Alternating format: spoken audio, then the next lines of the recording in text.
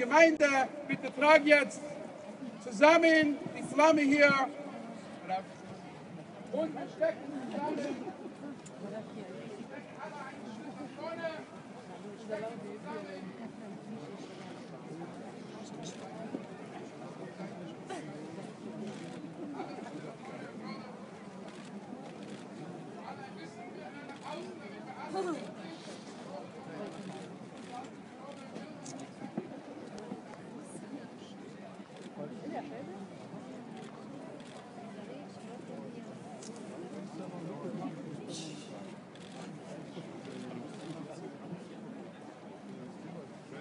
Und so haben wir die erste Kerze gezündet.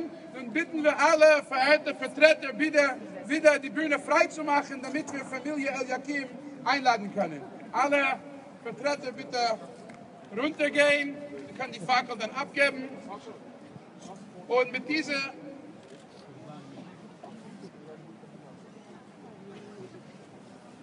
Mit dieser Flamme möchte ich jetzt einladen, Chen und Or El Yakim auf die Bühne, wo wir andenken werden allen Opfern und zeigen unser Zusammenhalt und Solidarität mit allen Opfern, insbesondere אנחנו נעמוד פה ונזכור את דליה אליקים ונאחל רפואה שלמה במקום הזה לרמי אברהם בן רבקה אליקים, שיהיה לו אריכות ימים ושנים טובות.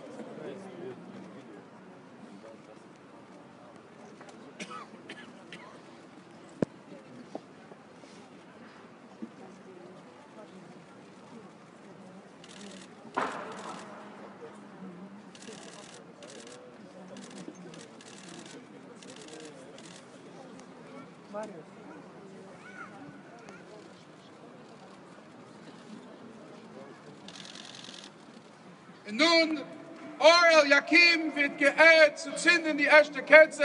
Er wird mit Rabbiner Segal steigen auf die Korb, auf dem Korb und während die Zeit, wenn sie nach oben gehen, werden wir einen kurzen 60 Sekunden Film sehen über die Lubavitcher Rebbe. Es war seine Initiative, die Leuchte zu zünden und weiterhin Licht in die Welt